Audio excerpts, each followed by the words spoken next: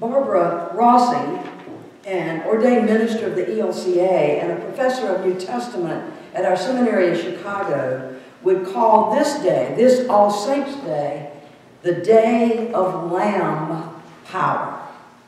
In her book, The Rapture Exposed, written in response to the misguided and horrific theology, perhaps even heresy, of those Left Behind series books, Rossing points us to the truth of the Revelation passage before us this morning. And it is indeed filled with lamb power. Just prior to our text for this morning, John Patmos, the author of the book of Revelation, responding to the question, who shall stand before God, has identified the number 144,000, 12,000 each from the 12 tribes of Israel. But then he looks, and there was a great multitude that no one could count from every nation, from all tribes, all peoples, and all languages, standing before the throne and the Lamb, robed in white with palm branches in their hands. And they cried out in a loud voice, saying, Salvation belongs to our God, who is seated on the throne, and to the Lamb.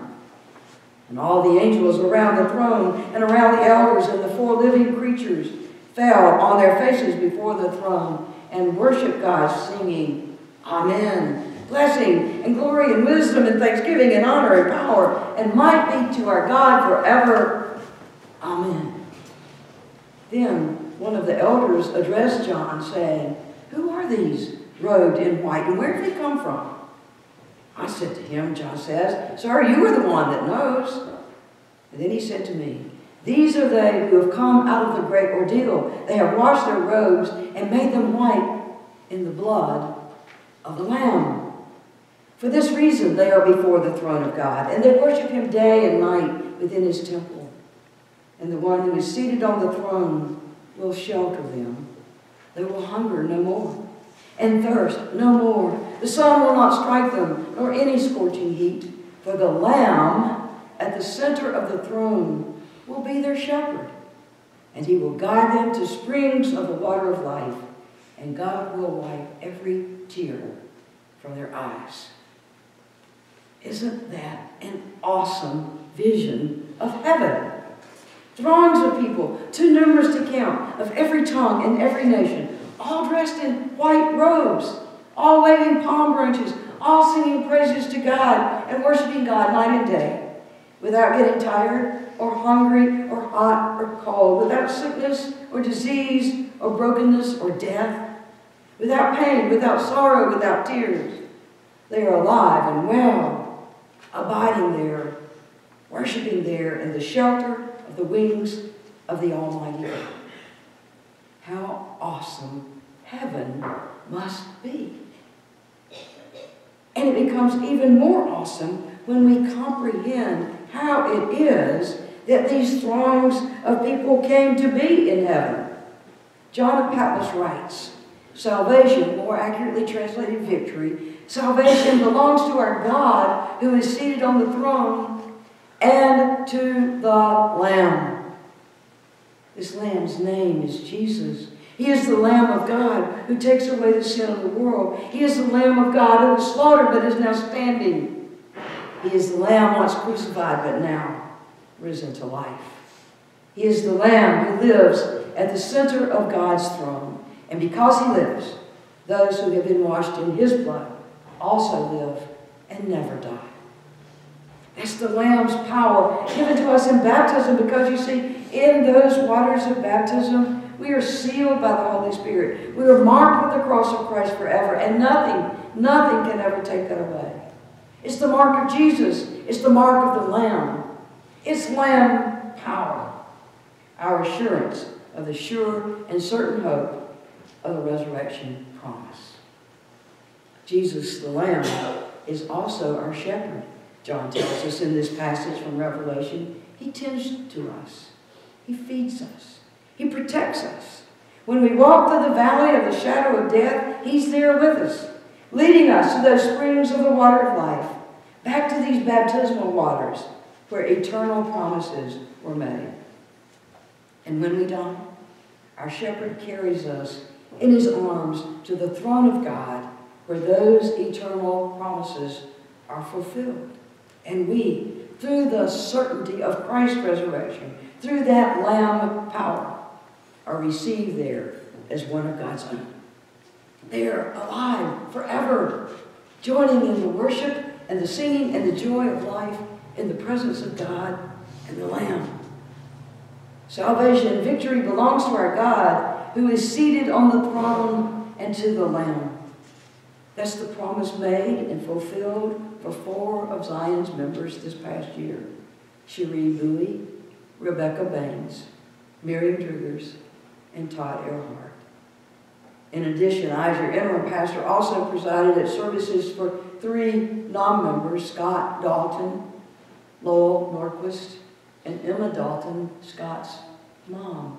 They were came to us through a, an acquaintance with uh, the Boy Scouts.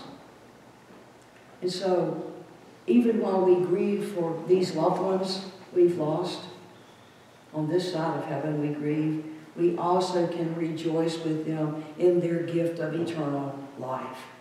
I heard Bill Mims say on one All Saints Sunday in his sermon, he said, You know, all the saints of heaven are right here, right here. He said, They're, they're beyond that wall right there.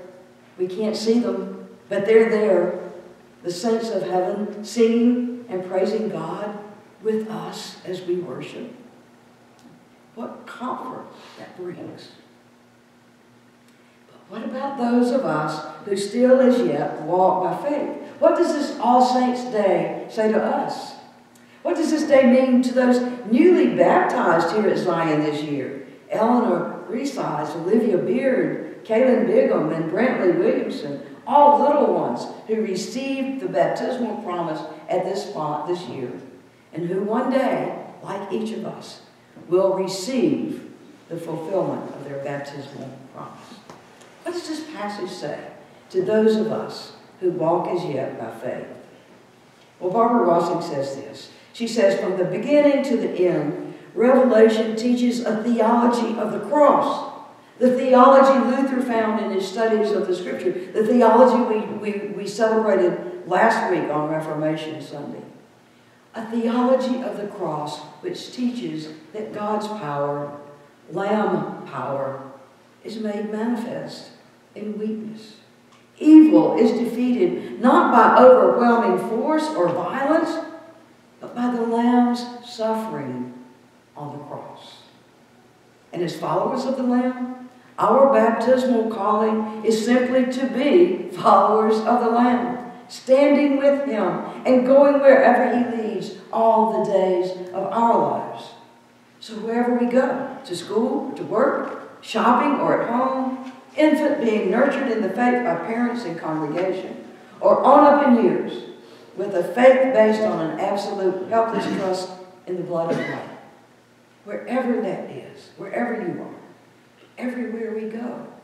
everywhere we go, through the mark of the cross on our foreheads and the Holy Spirit sealed within us, we walk and live our baptismal faith.